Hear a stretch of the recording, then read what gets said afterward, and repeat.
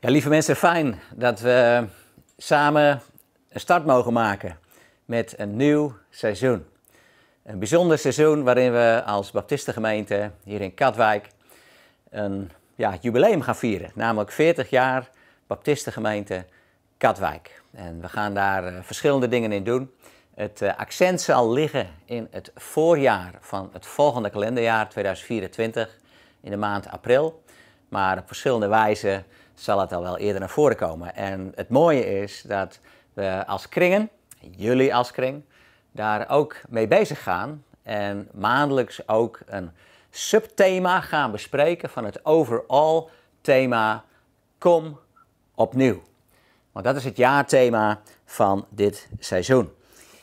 We gaan met elkaar in dit jubileumseizoen stilstaan bij ons als gemeente en hoe wij in onze geschiedenis over bergen zijn gegaan en veel zegen van God hebben ervaren, maar ook hoe we ja, met elkaar door dalen zijn gegaan. En dat is niet fijn. Misschien niet fijn om daaraan terug te denken, maar wat is het belangrijk om dat wel te doen en te weten waar wij vandaan komen.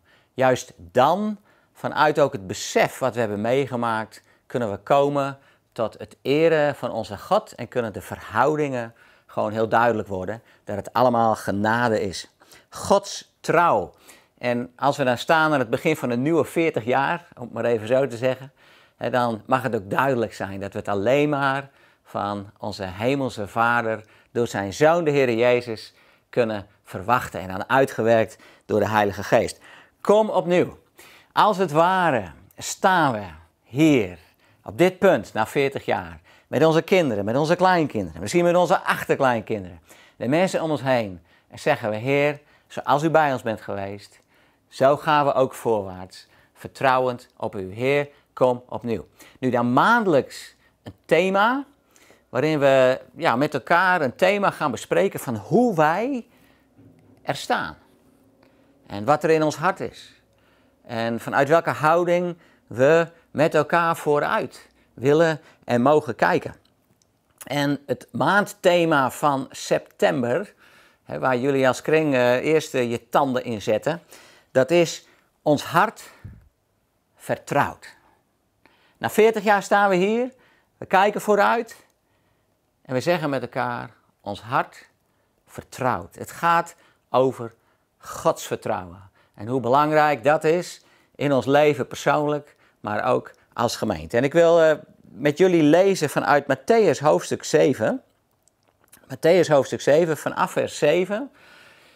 Een gedeelte waarin de Heer Jezus uh, aan het woord is in uh, de bergreden. En daar zegt hij, vraag en er zal je gegeven worden. Zoek en je zult vinden. Klop en er zal voor je worden opengedaan. Want ieder die vraagt, ontvangt. En wie zoekt, vindt. En voor wie klopt, zal worden opengedaan. Is er iemand onder jullie die zijn kind als het om brood vraagt een steen zou geven? Of een slang als het om vis vraagt?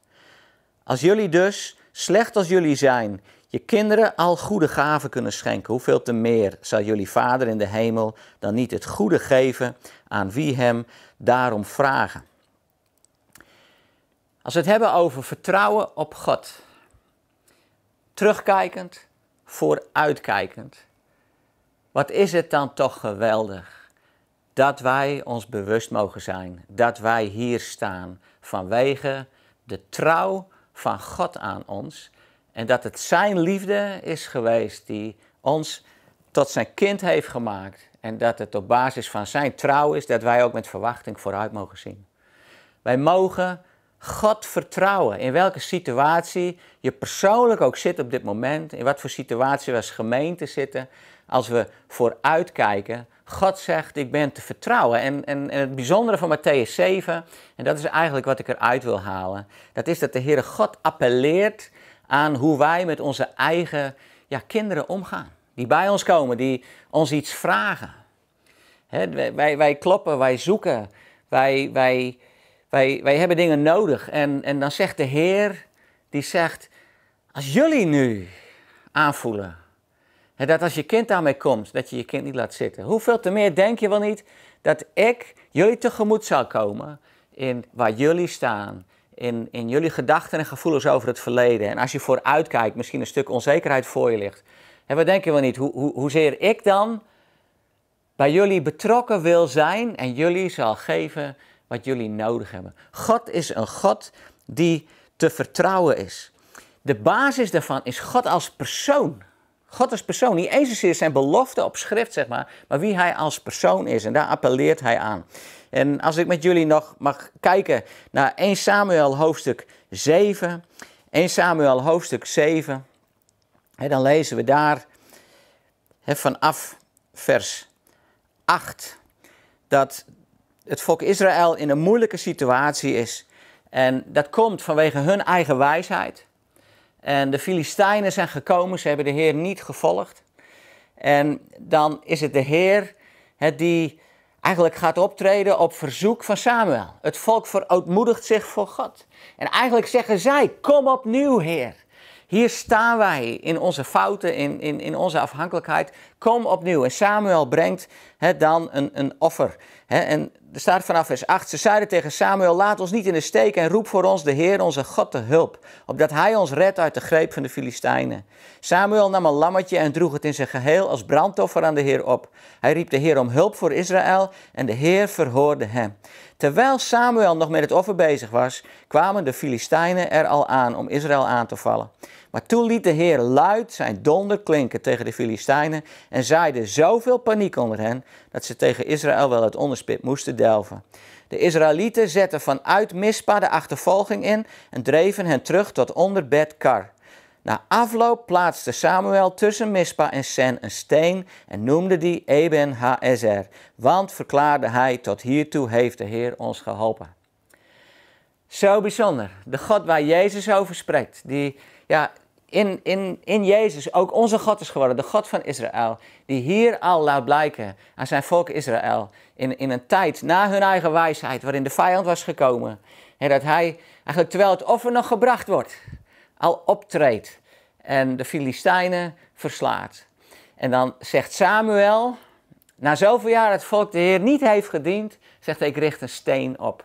Eben Haezer, steen der hulpen. En dan zegt hij, tot hiertoe heeft God ons geholpen. Lieve mensen, 40 jaar Baptistengemeente Katwijk. Goede tijden, slechte tijden. Maar één constante factor. God, de steen der hulpen. De God die zegt, ik ben met je.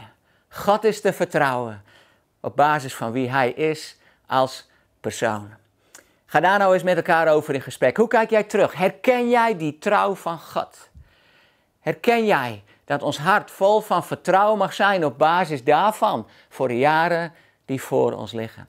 Spreek daarover, deel en word bemoedigd door God die zegt: Je kunt mij vertrouwen. Laten we zo God eer geven en, en, en samen daarvan leren en daardoor bemoedigd worden. Als je dit zo hebt gehoord, spreek daarover door en stel je dan die vragen. Wat zegt God tegen jou of tegen jullie als kring en wat gaan jullie daarmee doen? Heel veel zegen. Heb een goede tijd samen.